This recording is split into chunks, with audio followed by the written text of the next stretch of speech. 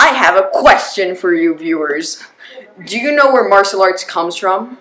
I bet that you're thinking that the first obvious answer would be China. Well, guess what? You're wrong. They actually come from India. And it's all because of this one little guy named Bodhidharma.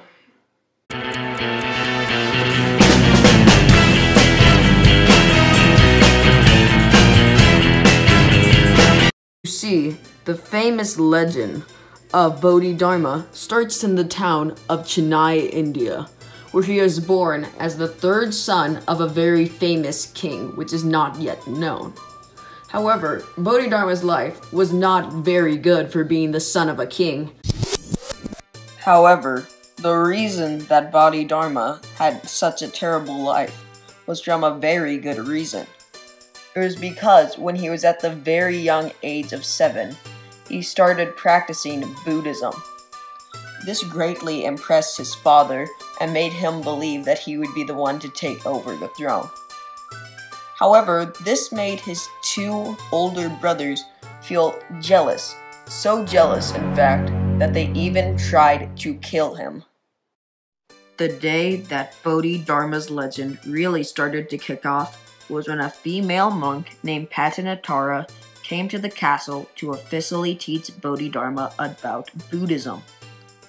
After a couple of years of training with Patanatara, Bodhidharma was given the status of monk, and he could now be called Bodhidharma. These teachings did not last long, however, because Patanatara soon fell ill and was about to die at any given moment. With her last words to Bodhidharma, she said, Go to China and teach the world about Buddha. And off was Bodhidharma, leaving behind his fame, his fortune, his family, and he would now live as a poor hermit. Bodhidharma is now tasked with the mission to spread an entire religion to one of the biggest countries in the world at the time. The first place that Bodhidharma thinks of going is the Shaolin Monastery a monastery filled with old and weak Chinese men. Now, this is the part where some of the researchers will start to disagree.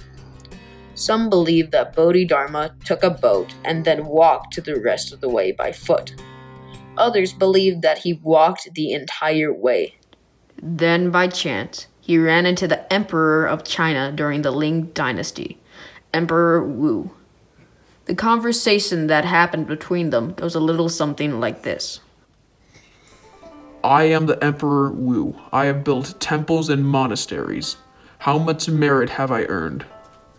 None, because they are only of temporal worth. Who do you think you are talking to the Emperor like that? I do not know. Then Bodhidharma just walks out on the Emperor after he said that day has come for the Indian to make his first mark in the legacy of China. He has already made it to the sacred Shaolin Temple. He sees the abbot, aka the religious leader of the temple. Bodhidharma asks the abbot, Can I study with you guys? The abbot says, No, absolutely not. Why would I? Now, Bodhidharma was out of options. So he comes up with something in his mind, and what he says next were these famous and inspiring words. Can I meditate in a cave for the next nine years until you accept me? Please, pretty please. Bodhidharma then goes off to a cave about two miles away from the temple. Then he meditated there for about seven years. However, it is said that he got so tired that he fell asleep at seven years. Then he woke up and got so angry with himself that he followed to cut off his own eyelids and meditate the rest of the years. Some believe that when his eyelids hit the ground, they became tea plants to help keep people awake. This is the reason why he is always shown with a wide eyed glance in his paintings. After this, they finally accept the Indian into their resting place out of pure respect for him. He then shows them about how to practice his style of Buddhism meditation, using the locust style, a style where all body parts rest on another, with only your right leg touching the ground.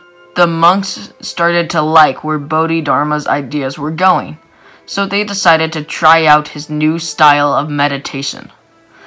However, Bodhidharma was absolutely shocked to see them falling asleep only after an hour of simple meditation.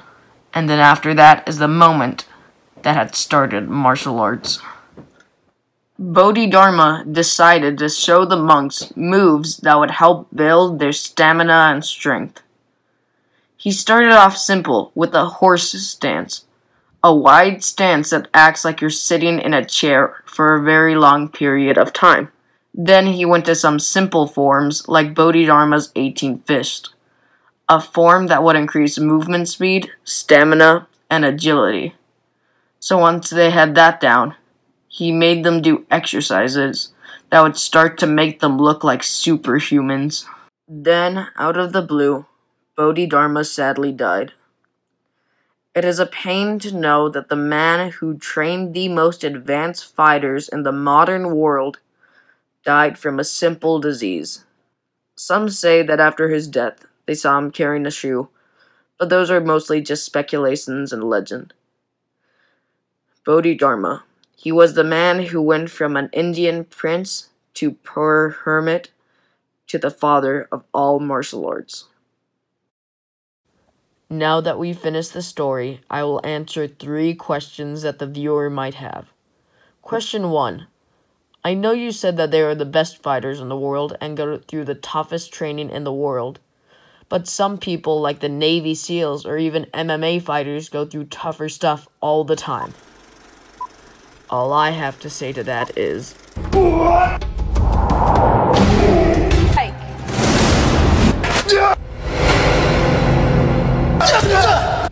This mountain is around 1,000 meters high.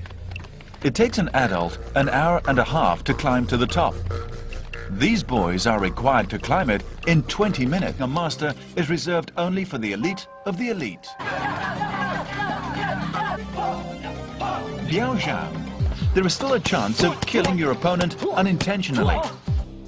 Used correctly, parts of the body can become immune to scimitar or spear attack. The throat can resist attack by... The iron neck is very useful in... Question 2. What are the differences between Chan Buddhism, the Buddhism that Bodhidharma made, and regular Buddhism? That question is actually a very good one. That is because the two definitions are not clearly defined, but this is going to be my personal interpretation of the differences. The Buddhism style that was before Bodhidharma held the belief that life was endless and it will make you go through bad situations over and over again till you reach the path of enlightenment.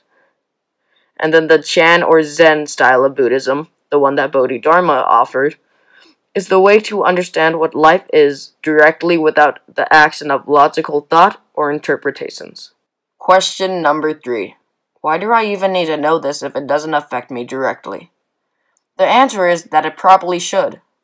If you do martial arts, then the obvious answer would be that they affect you because he made martial arts. If you practice Chan Buddhism, the obvious answer would be that they affect you because he made the religion. But if you don't do either of these, then you should start to meditate the way that Bodhidharma made. This is because the form of meditation made by Bodhidharma will do incredible things like decrease stress and anxiety while increasing awareness. Bodhidharma had a great triumph in the world, but it is sadly turning into a tragedy. This is because of martial arts schools in the martial arts community known as McDojos. They are schools that will make profit by making their kids turn belts faster. It is a terrible thing to do because they make their students that are weak and not prepared to have belts of that level go into the world thinking that they are masters. And on top of all of that, they make Bodhidharma's great legacy look like a terrible disgrace. So that is why we must stand together to protect the legacy of our father of martial arts, so that his name does not die in vain. As Bodhidharma would say, all know the way, but few actually walk it.